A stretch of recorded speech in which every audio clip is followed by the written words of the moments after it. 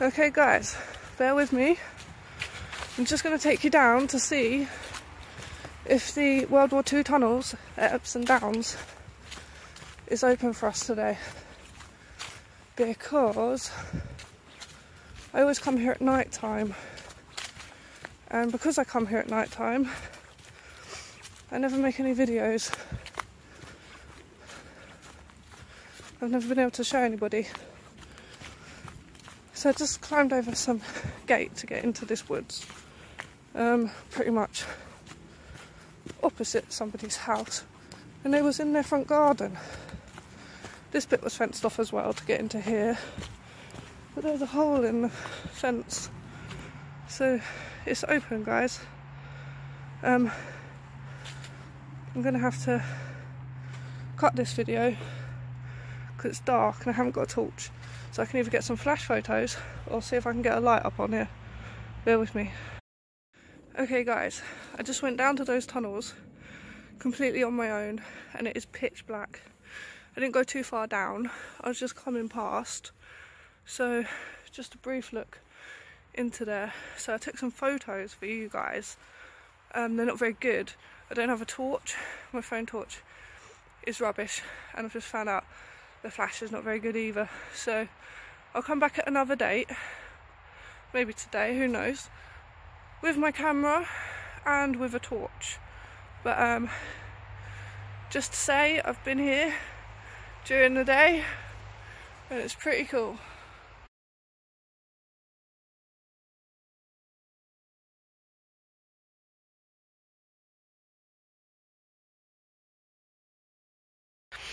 Right, we're back at the tunnels.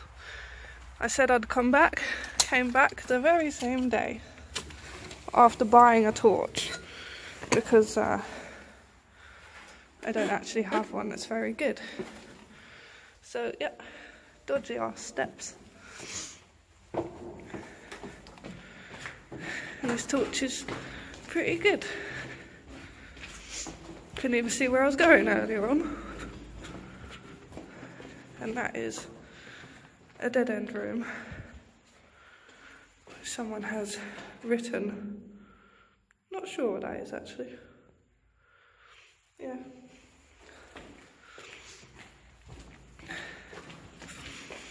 So this is the walkway in. And I don't know what that was. It's just a small room. But there's light fittings because uh, obviously a World War II bunker for the people in Epsom, but they let people come down here and play organised airsoft in 2007 until 2012. If you look either side, you can go either way. Either side you find this, which sort of looks like the front of a house, but no door, no window as you can see it's the same on the other side. So you come down here. Interestingly what I read on the internet was that uh, well you can go either way here too. What I read on the internet was that um, Epsom didn't actually have that many houses near this bunker. And so it was a complete actual sort of waste of time them building it. Because uh, well the review, well, the article on the internet, was written from somebody who actually spent some time in here. And they said that when they was down here, there wasn't that many people. As you can see from the map, I put on the video beforehand, um, it's a little bit of a maze of squares. Yeah, that bit's chalky. We'll go this way first.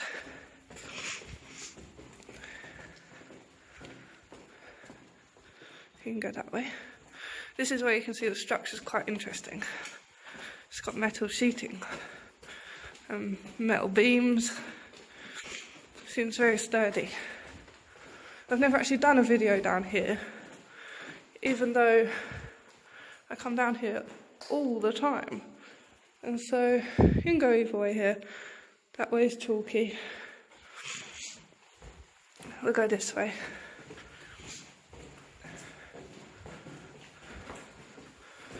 And uh, have a little look. This is where everyone likes to hide in little bits and jump out and scare each other, pretending it's haunted.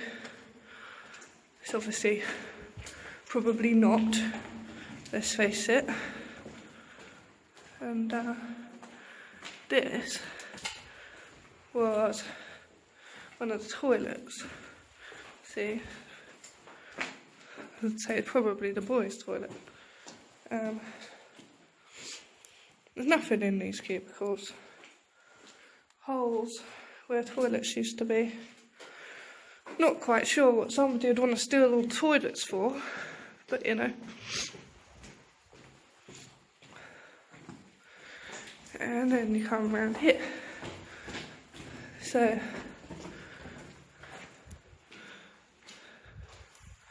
we'll go this way.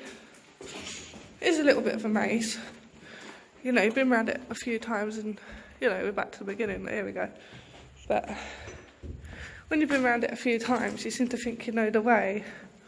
And uh, did we actually go in there that way? Don't think we did. Let's take a look at the beginning bit. Because I sort of veered off to the right. No, no, I did come here. So this would have been, this is a can crusher. And this would have been like the main canteen room. Like some sort of queuing system, these bars, I think. Not sure. But there's all kinds of shit down here that was not obviously here before. Um, and everything that was here before is unfortunately gone. So we'll go to Chalky Way this time.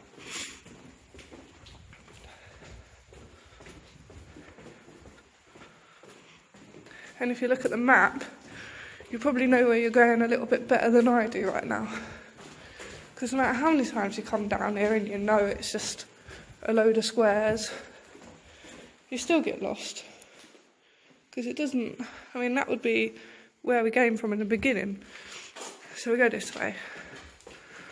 And before you know it, you've seen the whole thing. But it is actually quite hard. See, that goes the whole length of the square. And this goes the whole length of the square in the other direction. And that would as well.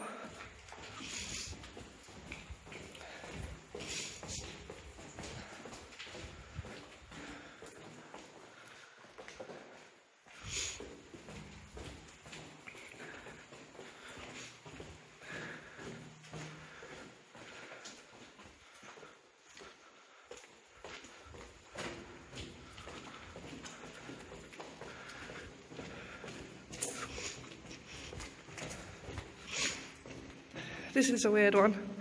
Looks like it might go somewhere, doesn't it? Well, do you know what happened? We stuck someone up there. Do you know where it comes out? It comes out up there. Completely pointless.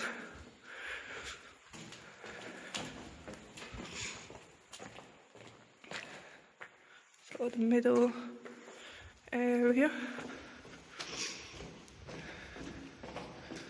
But like I say, no matter how many times you come down here, you still don't fully know completely where you're going. So let's go this way.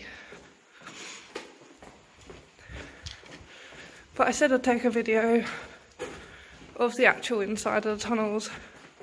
I did a silly one a long time ago if you look at my YouTube channel.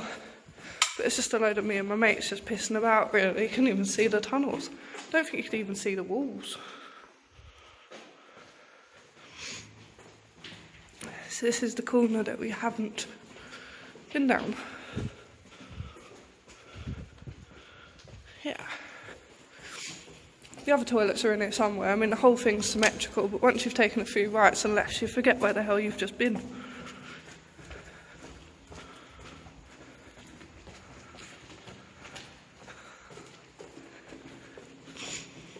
But we'll see if we can find our way back to the beginning.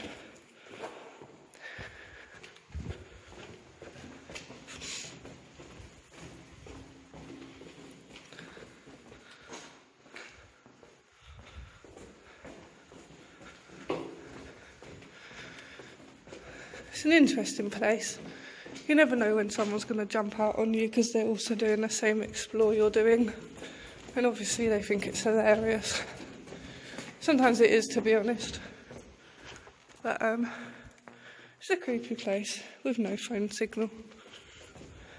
If you come down here on your own, like I did earlier on, especially with a not very good light, you realise this place is quite terrifying.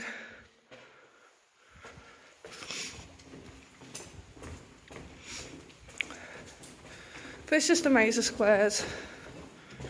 And let's see, we're back at the communal area. Just have a little look in here. Yeah. So, to wrap this up, I might take a walk to the beginning just to show you that, like I say, you can go either way. And yeah, there's a loft. It doesn't go anywhere. Literally, it's almost like a platform for the supporting beams. This wall, I think, if there was a blast and anything came down this, down, down here, it hit that wall behind us. That's why you've got to go either way around the edge of it. It's very clever. And uh, it was built at the same time as the Coulsdon tunnels, which will be my next video. So I've also been there a hundred times, never taken a video. Go figure. But yet I go somewhere miles away and take loads. So this is the tunnels that is right on my doorstep. And uh, stay tuned because we'll do Coulsdon next. And uh, yeah, the point I was getting to is it's the, the same sort of layout. But stay tuned.